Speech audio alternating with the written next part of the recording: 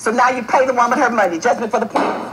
All right. You're gonna get the money back. What, going to pay him? Ten thousand fifty-two dollars. the. The defendant is ordered to pay one thousand fifty-two.